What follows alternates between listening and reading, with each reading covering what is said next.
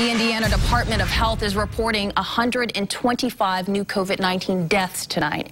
As you can see on your screen, the state now has a total of 6,781 deaths. Indiana also reporting 6,200 new cases today, bringing that total positive case to over 440,000.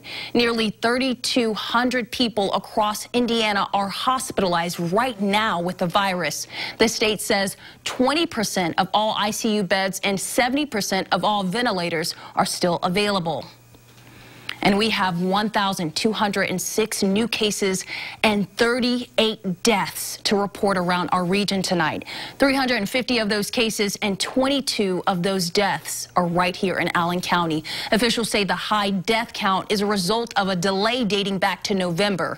30 new cases in Adams County, 47 new cases and one death in DeKalb, 40 new cases in Huntington and four new cases in Jay. 60 new cases and one new death in Noble County, 14 new cases in Paulding, 30 in Steuben, 23 in Van Wert, 38 new cases and one death in Wabash. 32 new cases in Wells, 59 cases in Whitley and in Williams County, Ohio. 49 cases and nine new deaths tonight.